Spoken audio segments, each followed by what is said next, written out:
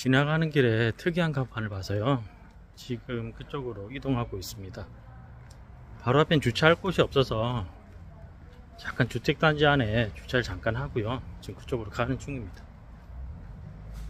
저 사라다 빵이 있더라고요. 예전에 시장에서 먹었던 기억도 있고 그래서 먹고 싶어서 한번 찾아가고 있습니다.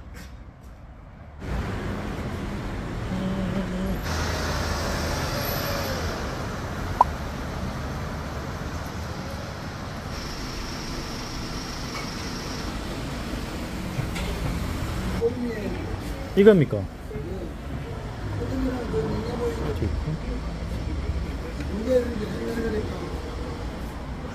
아니 야채 그렇게 야채 샐러드 그거 들어간 건 없네 야.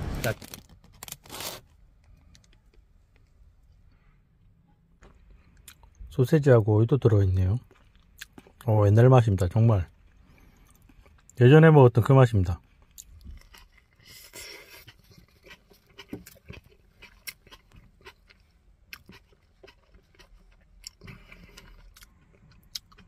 맛있습니다